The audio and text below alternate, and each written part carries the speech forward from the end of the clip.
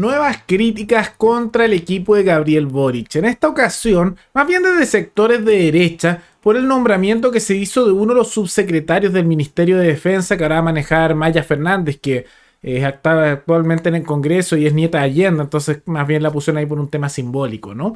Y que uno de los subsecretarios, que es el caso del señor Galo Edelstein, eh, es de Partido Comunista y se está cuestionando su presencia ahí porque está vinculado a lo que era la universidad, eh, la universidad que tenía el Partido Comunista en su momento, que era la Universidad Arcis.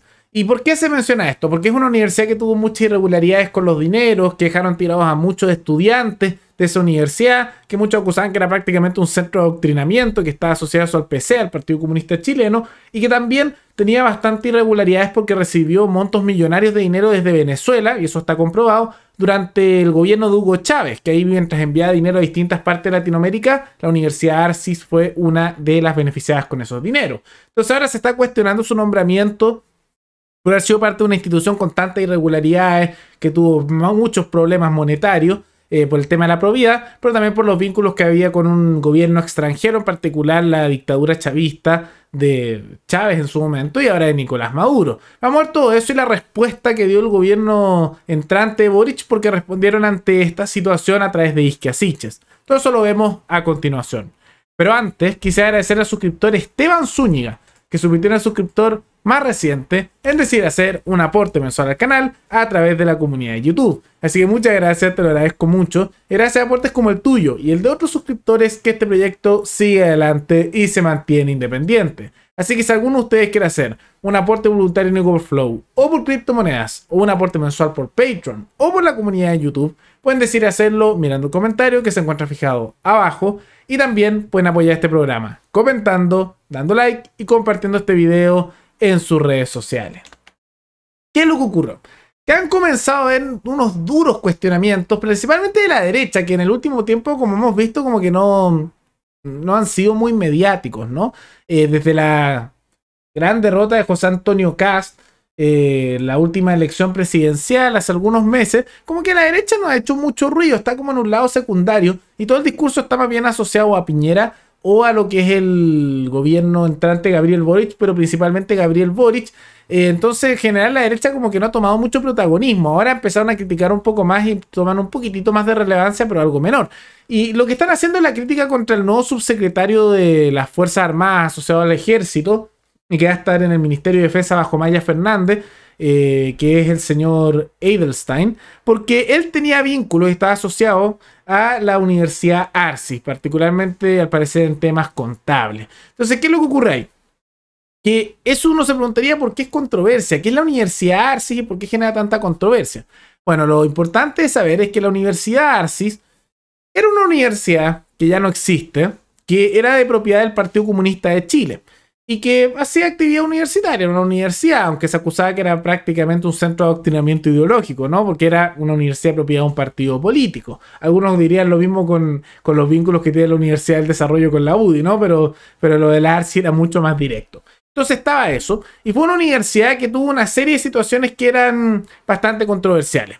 Primero, que tuvo numerosos problemas contables, no se administraba bien, fue más bien un fracaso y que en su momento tuvo problemas de dinero muy graves, la cerraron eventualmente y dejó a muchos estudiantes sin universidad, que después tuvieron que buscar convenios con otras instituciones para ser recibidos, etc. Fue una crisis en su momento que se dio en el año 2018. Y fue una institución que al final dejó a muchos tirados y quedó con una muy mala imagen por eso. Por otro lado, tenía la cosa irregular de que era propiedad directa de un partido político, que uno diría que se podrían estar usando para adoctrinamiento. Y además de los temas monetarios, que ya de por sí eran cuestionables por el mal manejo, eso es un tema que se cuestiona por el tema contable y este señor, era el tema del financiamiento de la universidad. Porque esa universidad, y ahí paradójicamente se observó cuando tuvieron que cerrarla porque ya los dineros no calzaban, tenía unos gastos bastante altos y unas pérdidas bien millonarias.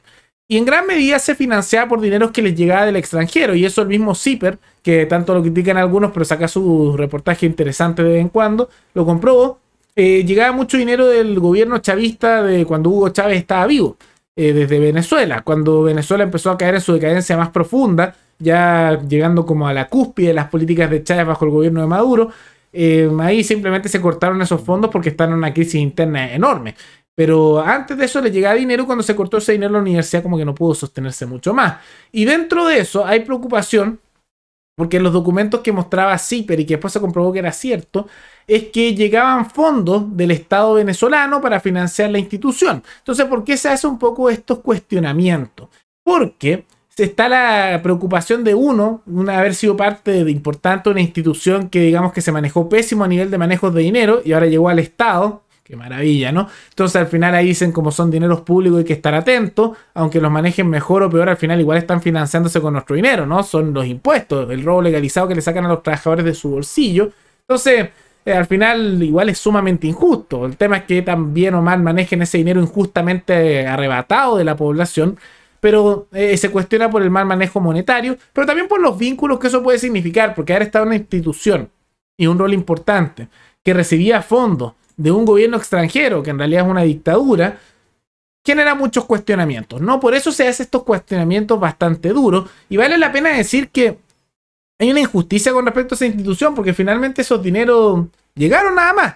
Y, ahí no fue financiado con el dinero del Estado chileno, o sea, no se fue financiado con los impuestos de los trabajadores de este país, con el robo legalizado de los chilenos, pero fue un robo legalizado que se le estaba haciendo al pueblo venezolano a nuestros hermanos de ese país que le sacaron dinero de su bolsillo y se fue enviado para subsidiar una institución del Partido Comunista Chileno, una universidad aquí en Chile. Entonces lo que debió haber ocurrido es que en vez de dejarla quebrar simplemente y cerrarla, que es lo que ocurrió finalmente, es que el Partido Comunista debería haber pagado su propio bolsillo, al ser ellos los que eran dueños de la institución, eh, ese dinero y se debería haber hecho una restitución de ese dinero al bolsillo de los trabajadores venezolanos, porque al final se estaba financiando con subsidios desde otro país, del Estado de otro país, una institución acá que era además asociada a un partido político y que ese dinero corresponde en el bolsillo de los habitantes que pagan los impuestos. De la misma manera que aquí es una injusticia todo el dinero que sale del bolsillo de los trabajadores para ir al Estado chileno y se le debe restituir a la vez que se disminuye el Estado, se disminuye el Estado y ese dinero de pasar al bolsillo del ciudadano, sería haber hecho lo mismo con el dinero del Estado venezolano que se enviaba durante el chavismo y que sigue aplicándose, aunque ya no se envían esos dineros porque quebró la institución,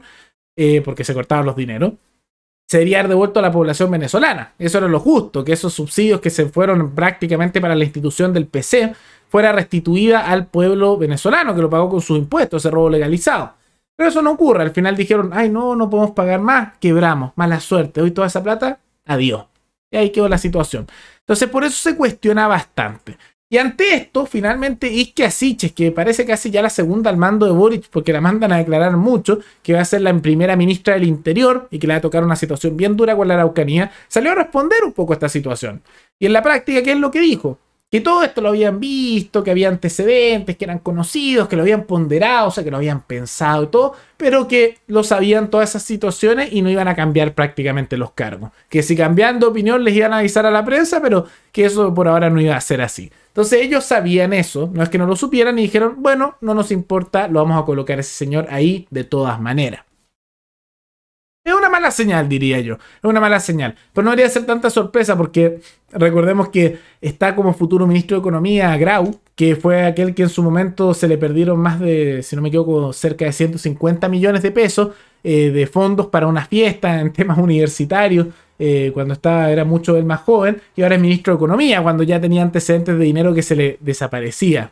Entonces no es tan raro que ocurra esto porque esto es un caso más o menos de, algo no igual, pero similar en menor escala. Entonces no era sorpresa que sea una situación así. De todas maneras, mala señal para, lo que se viene a futuro a nivel de, manejos de dineros que están ahí. Más que nada, yo creo que habría que aprovechar de cómo hay antecedentes de irregularidades dentro de lo que fue la Universidad Arces y todos esos fondos, que uno debería estar más o menos atento a estas figuras, cómo gastan la plata, porque al final lo van a gastar nuestro dinero, nuestros impuestos. Y si ya hay antecedentes de manejos raros de plata en el pasado, no está de más mantener el ojo abierto, porque probablemente esas conductas pueden repetirse. Y yo lo lamento mucho por, eh, también por por los venezolanos en realidad, porque su Estado todo ladrón, que es una marca de estatismo máximo que, azota a su país, también andaba financiando dinero y enviando dinero a todas partes, a distintas partes de Latinoamérica, y parte de esos subsidios se fueron para esta institución del Partido Comunista. Y esos subsidios nunca deberían haber estado ahí, y ese dinero debería haber estado en el bolsillo de los trabajadores venezolanos. Pero bueno, se fue para los bolsillos del Partido Comunista y de su institución universitaria que ya fracasó. Esa es la situación que se da y es bastante lamentable. Pero ¿qué piensan de las críticas que está haciendo la derecha, que en realidad nadie los va a tomar en cuenta ni el político, pero que las hacen? ¿Les parecen que son legítimas o no? ¿Y qué les parece el caso de la Universidad Arcis, el Partido Comunista que era propietario, y también sus vínculos con el gobierno venezolano, del chavismo, y que eso lo comprobó pero en su momento? Todo eso coméntenlo abajo. Y recuerden que pueden recomendar algún tema, alguna noticia, tanto de Chile como otros países, para otro video. Nos veremos en el siguiente programa. Hasta luego.